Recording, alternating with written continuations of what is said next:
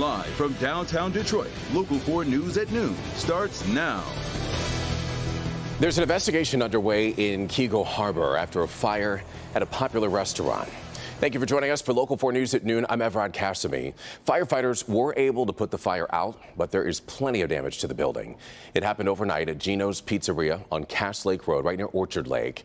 We're told the family-owned restaurant dates back to the 1960s in the community. Local 4's Kim DiGiulio talked to the owners to see what's next for this establishment thanks to a person who was driving by Gino's Pizzeria and Restaurant early this morning, this restaurant is going to be okay. They saw smoke coming from the building. That's when they called 911. The fire started early this morning in the main entrance of this restaurant that opened in 1969. Actually, that end that's on fire right now, that used to be the original building uh, for the carry-out pizzeria, was right there. Thankfully, it was contained to just that area not affecting the rest of the building or the banquet center next door. Irene and Gino Santillo are siblings who run this family business. They were looking forward to a big weekend of business after a road closure was keeping people from passing by their restaurant for the past three weeks. They just opened it up last night. At 4 o'clock, we got the call that they opened it back up, and it was kind of like, wow, great. You know, it's going to be beautiful tomorrow. We're going to be busy. We'll open up the patio, and of course, I get the call 5 o'clock this morning, the restaurant's on fire. However, this family has been through a lot over the decades with a strong clientele and loyal workers, some of which who have worked here for more than 40 years. Irene and Gino say they will get through this and get back to normal for their customers. We just keep plucking away. We don't know any different. yeah, that's, that's probably it. We don't know any different. There were several events scheduled to take place here this weekend. Unfortunately, they will all need to be canceled. The good news is that there was a wedding scheduled for tomorrow, and that was scheduled for the Banquet Center. Now, there's a kitchen in the Banquet Center, so that wedding can still happen. Reporting in Keego Harbor, I'm Kim DiGiulio, Local 4. All right, Kim, thank you. New at noon here. Fire crews are investigating a house fire in Southfield. This is video from Sky 4. It shows multiple crews on the scene there, and we're told the fire started inside of a home on Circle Drive. It appears the fire tore through parts of the roof. However, it's not clear if anybody involved was hurt. So, of course, we're going to keep you updated as we get more information. Well, one thing we have a lot of information about is the forecast. If you got a chance to step outside at all today, Paul, 77 degrees. It is certainly feeling like the 81 there in Howell and, and beyond. Well, uh, we've been saying it all week long, like Mort Krim used to say. Man, we just go straight from winter to summer. There were like was was no spring. What a cool April we had with all that rain.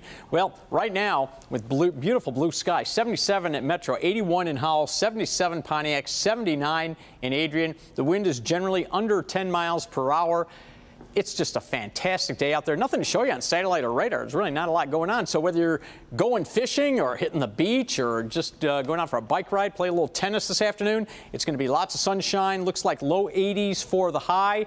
And if you are going to the Tiger game tonight, I know the team's not doing very well right now, but you know what? There's nothing better than going down to the ballpark, watching those Tigers on a beautiful summer-like evening. And we're going to start the game in the uh, upper 70s, and then by the end of the game, dropping into the upper 60s. Light wind, looking just great.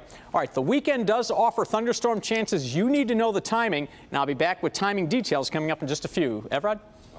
Paul, thank you. Two men are hurt after a shooting on Detroit's east side. It happened around 3 o'clock this morning inside of a home on Lumpkin Street right near Nevada Avenue.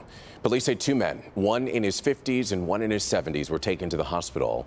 Right now, police say that both of those men are in critical condition. Investigators are still working to determine exactly what happened here. They're trying to talk to the victims at the hospital to get some type of understanding to why this may have occurred. And right now, I think both victims are in surgery, so they haven't spoken to them as of yet. Investigators tell us that a gray car left the scene, but it's not clear if the shooting was a drive-by or not. State police are investigating two reported freeway shootings. This happened around 5 Thursday night in the eastbound lanes of 696 near Dequindre. The man was able to drive himself to the hospital in the area, and we're waiting on an update on his condition. The second shooting happened around 1050 on 696 near Cousins Avenue, and police believe that road rage led to a driver actually pulling out a gun and opening fire, hitting the victim's window. Police are still looking for a white, older model minivan. In other news this afternoon, the CDC is making mask recommendations as COVID 19 cases continue to climb back up here in Michigan. Uh, take a look at this map from what shows Wayne, Oakland, Macomb, Washtenaw, Livingston, and St. Clair counties with a high level of community transmission. That means that there's a greater risk of catching the virus. The CDC recommends that everybody wear masks indoors when in the public and even while taking public transportation. Detroit Mayor Mike Duggan and Police Chief James White are set to meet with President Biden today at the White House. Both will be joined by other officials to discuss how Detroit has benefited from the $50 million appropriated through the American Rescue Plan that was aimed at reducing gun violence. And now we want to turn to the war in Ukraine. The first war crimes case of the war opened in a Kiev court today, with a Russian soldier on trial accused of killing an unarmed Ukrainian civilian. This as Russian forces continue their assault on the remaining Ukrainian soldiers still holed up underground in a steel plant in the port city of Mariupol. Jay Gray reports from Ukraine. Look, the most intense fighting continues to be to the east and west along the coast. Uh, Russia, obviously, as a part of their war plan, trying to take control of that region. And, and, the fighting has been very intense. We've talked about Odessa and the shelling there, and of course, Mariupol, where there continue to be soldiers holed up in a steel plant there and, and doing the best they can to protect that region. It's their one last standing point there. There have been ongoing negotiations to get some of the wounded soldiers out of that plan and to much needed medical assistance. Now, Turkey has been involved in all of this, saying that they've brought a ship in that they can offload these injured soldiers on, get them medical attention, and take them back to Turkey, where they'll stay, they say, until the end of the fighting. So they won't be a threat to come back and fight against Russia. Russia has said that's not going to work either. Let's talk a little bit about the first trial since this war began on war crimes. A Russian soldier arrested in Ukraine for shooting, they say, a 62 year old man on a bicycle. Uh, he, they say, has admitted to this crime. Today he had a preliminary hearing, said that he was ordered by superiors to fire on the 62 year old civilian.